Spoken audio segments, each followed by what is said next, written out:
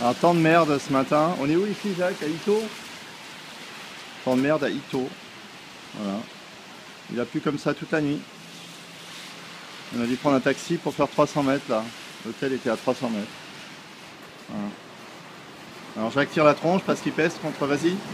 On est tous, Il fait beau Il fait beau On est en train, oh ouais, c'est génial. Moi, je vais prendre mon maillot de bain. On va plonger, Voilà, voilà. on va plonger dans la piscine. euh, Oui. Enchanté, Denis. voilà, voilà.